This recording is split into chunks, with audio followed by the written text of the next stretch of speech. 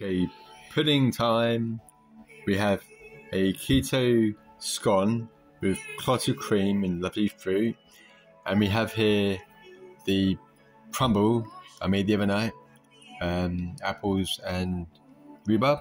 And here we have one of my favourite drinks is the cocoa half full fat cream, half sugar-free soya.